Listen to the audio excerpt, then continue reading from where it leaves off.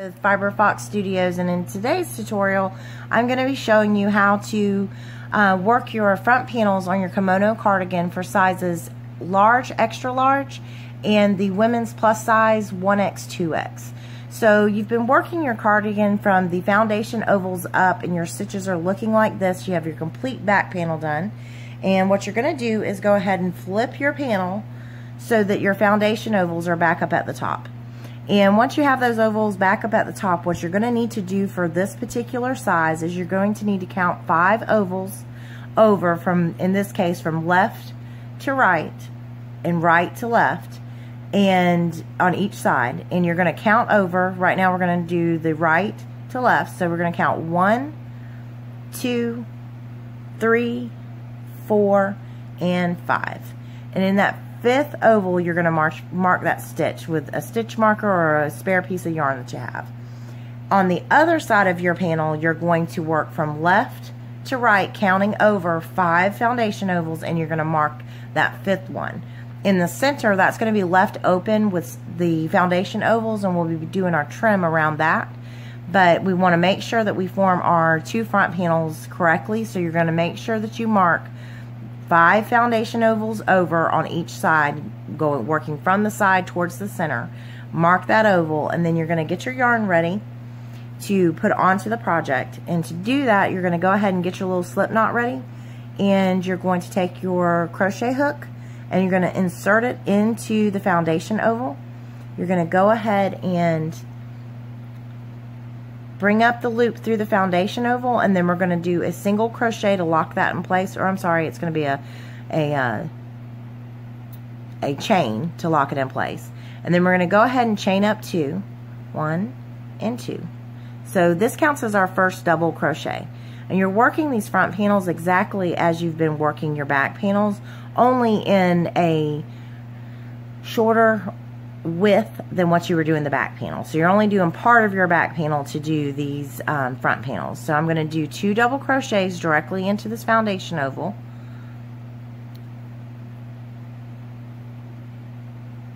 And that gives me three double crochets total. So we're starting out just like we did in the beginning. This is technically going to be row two because these foundation ovals are acting as our row one right now.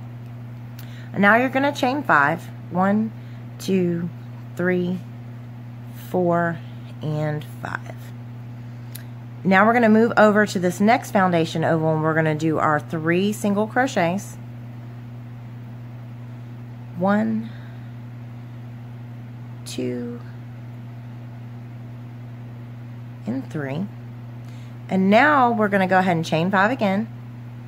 Three, four, and five and we're going to move over to the next foundation oval and we're going to do our five double crochets just like we were doing on the back panel.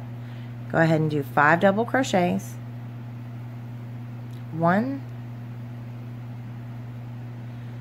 two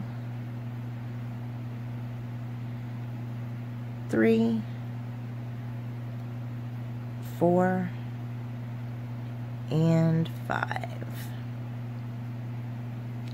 and now we're going to chain five. One, two, three, four, and five. And we're going to move over to our next foundation oval. And we are going to put in three single crochets. One, two, and three. And now we're going to go ahead and do five chains again. One, two, three, four, and five. And now we're here at the end where we've marked. So this is going to be the end of our front panel. So we're going to end this row just like we did on row two when we started out. And all of your rows are going to be ending and beginning just like you did on the back panel, just with a shorter repeat of the stitches in between. So in this case, we're going to do, just like we started the row, three double crochets into this foundation oval. So one,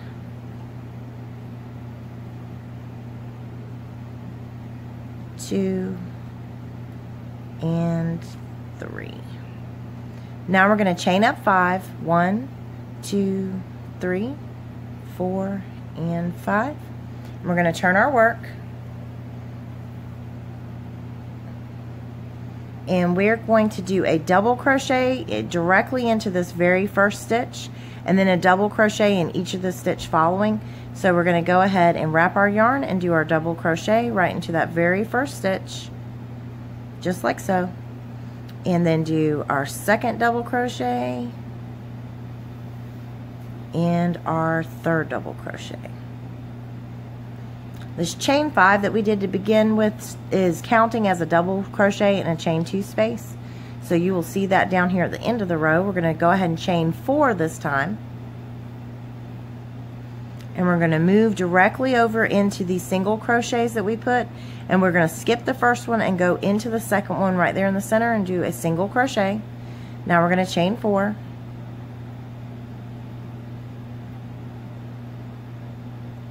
And now we're going to move over here to these five double crochets.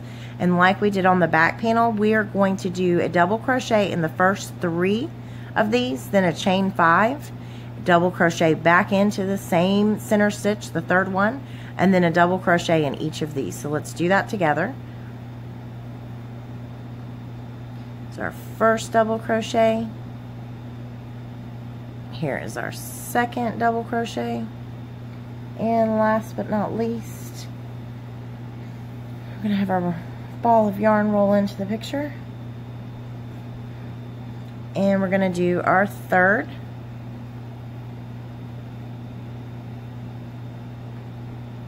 Now we're going to chain five, two, three, four, and five. And now we're going to take and do a double crochet right back into that same stitch, just like we did on the back panel. two three. We're doing a double crochet in each of the next two stitches left. So that brings us to three double crochets a chain five three double crochets that are all sitting on top of the five double crochets from the previous row. Now we're going to chain four one two three and four. And now we're going to go over here skipping over all of this and going into these uh, single crochets. We're going to skip the first one and go immediately into the second one. One, two, three, four. Chain four again. And we're to, now we're over here at the end of this row already. So we're to go ahead and do a double crochet in the next three double crochets right here. Then a chain two and a double crochet back into the same last stitch right here. So let's do our double crochet. There's one, two, and for the third one, this was a chain three to start this row, so we're going to count up from the bottom. One, two, and three. And making sure we got in that top chain. Now we're going to chain two, and we're going to do a double crochet right back into that same space. So, as you see, we have already got something building up. Here we have the start of our front panel. It is so easy to do and this works up so fast you're really going to find that you're going to fly through this. If the back panel took you several hours or even a day or a couple of days crocheting at different times, you're going to find that you're going to do these front panels so quickly. You're going to have this cardigan all together in no time flat. So we're going to resume with what we're doing. We have row two here, row three here. So now we're going to do row four. So we're going to go chain up three. And we're going to turn our work again. And we're going to do three double crochets into this chain two space. So this chain three that we did counts as our first one, we're going to have four total here. So we're going to, we have our first one, so now we're going to do number two. Here's number three. And number four.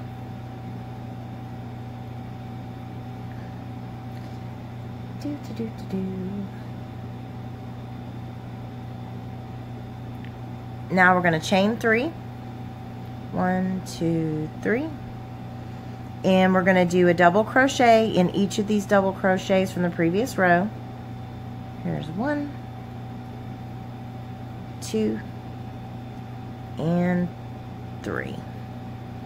So now we're going to do a chain three again and we're going to go to that single crochet from the previous row and put a single crochet right into that and we're going to chain three again. And now what we're going to do is we're going to move over here to this section. We're going to do three double crochets, one in each of these three double crochets from the previous row. Let's go ahead and do that. Here's one. Here's two. And here's three.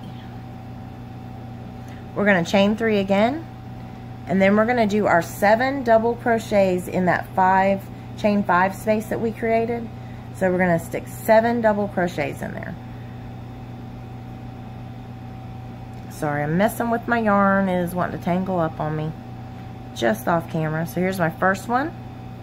One, two, three, four, five, six, and seven. You can see my little yarn knot coming at us. Get that twisted apart. Now we're going to chain three, one, two, and three. And we're going to do three double crochets right here into the top of these three double crochets from the previous row. There's one, here's two, and here's three. And now we're going to chain three. And we're going to move over here and put a single crochet right into the single crochet from the previous row. We're going to chain three again. Now we're going to move over here into this set of three double crochets. We're right here at the end. And we're going to put a double crochet in each of the double crochets from the previous row. And three. And now what we're going to do is we're going to chain three. And we're going to put four double crochets into this chain that we began this row with, this previous row with. The first three of this chain count as our double crochet. So we're going to do three double crochets right here. And then we're going to do our fourth in the top of the chain three. So you're going to wrap your yarn, go ahead and do those double crochets. Going to do two,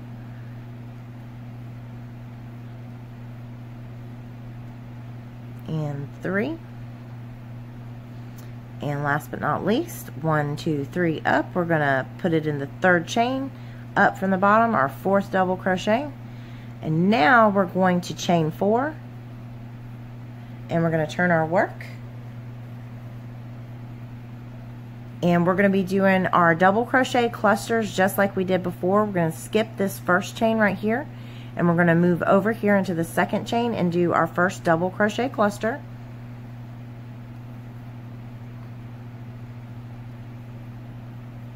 Just like so.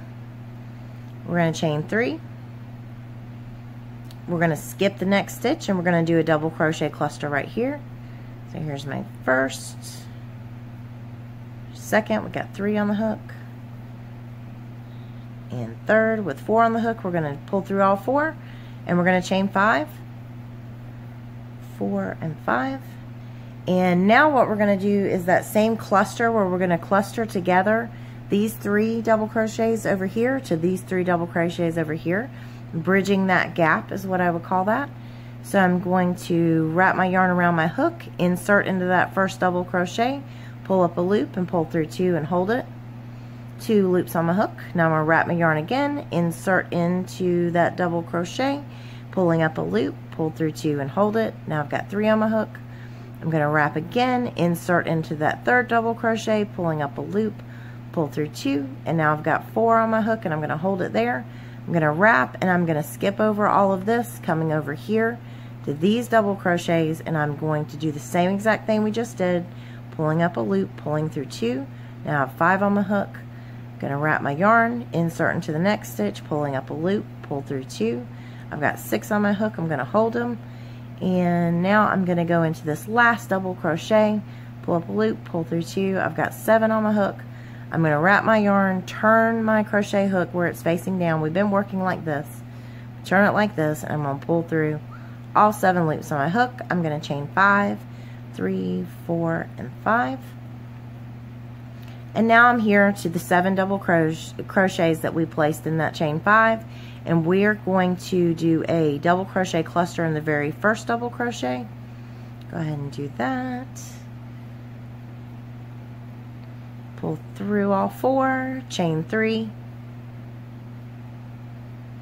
And we're going to skip this next stitch, go into the next one, doing another double crochet cluster, just like so.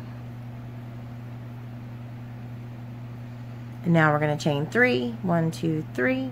We're going to skip the very next stitch and we're going to go into this stitch and we're going to do a double crochet cluster. Do, do, do, do, do. Two and three. Pull through all four loops on your hook. Chain four, or chain three. I did that too in the other video. Chain three in between your clusters. Skip this stitch and go into the very last stitch in this section and we're going to do a double crochet cluster like that. And now we're going to chain five. One, two, three, four, and five. And now here we are where we're going to have to bridge that gap again. We've got the three double crochets here and we want to um, cluster them together with the three double crochets over here. So we're going to go ahead and wrap our yarn, insert, pull up our loop and pull through two, two loops on our hook. Do that again, three loops on our hook, do that again, four loops on our hook. Right, we had a little technical difficulty, so now we are back. And we're going to go over here, we're going to go ahead and bridge that gap and go into these next three double crochets, pulling up a loop. We're going to be clustering, we're doing the cluster of them all together. Do that pretty quickly now, I'm sure, if you've done this whole back panel. And now we're going to chain five, four, and five. We're going to go over here and we're going to do our double crochet cluster just like so. I'll slow that down a little bit just in case somebody needs to see that again. I doubt you guys do because you've been doing the other. But there's chain three, skipping the next stitch, going over here into this stitch. And we're going to chain one and do a double crochet in the top of that chain three from the previous row. And this is what our panel is going to end up look like. This is what we have here. So this is for the size large extra large and women's plus size 1x 2x and I'm going to show you how to go ahead and do your new um, round, or I'm sorry, row one that replaces the foundation ovals. We do it just like we did in the back of the cardigan, the back panel of the cardigan. We're going to chain one, turn our work. Now we're going to put a single crochet right there in that very, very, very first stitch. One single crochet. Now we're going to chain two, and we're going to skip over to this chain three space and do a single crochet. Now we're going to chain five, two, three, four, and five. And we're going to do our double crochet directly into that little loop that we made in the center of our cluster. And we're going to chain five again, four and five. And we're going to do a single crochet in this chain three space. We've made it over here now to chain two go over here into the three chains do another single crochet chain two. Now we're going to skip over this going into the three chain space and do a single crochet. Now we are going to do our chain five again. I've got four. And we are over here again into this um, cluster space and we're going to do our double crochet right there in that perfect little spot we made we're going to chain five three four and five. And we're going to come over here and do a single crochet in the chain three space chain two. And we're going to count up on our row because this is a chain four. We want to be in the third stitch one two and three and do a single crochet. And then it's just going to continue on like you did on the rest of the back panel. You're going to chain up three do two double crochets into your two two chain space chain five do a single crochet beside this double crochet, a single crochet in the top of the double crochet, single crochet beside it, and so on and so forth. I really hope that you guys have enjoyed this tutorial found it very helpful. If you did, please like, share, and subscribe. It's really important. Um, it's a brand new channel, so I need all the support I can get. And um, keep in mind, we're going to have yet another tutorial, and that's going to be to show you how to sew up the sides and do the edging on it. Um, and like I said, any comments or questions, always, always, always, you can put them down in the comments below. If you have any critiques, if you have any feedback at all, I would love to hear from you guys. So please don't feel shy. Please put it down below and let me know how I'm doing. And I hope to see you guys on the next tutorial for how to sew up your sides and do the border on your kimono cardigan. Thank you for watching. Have a great one.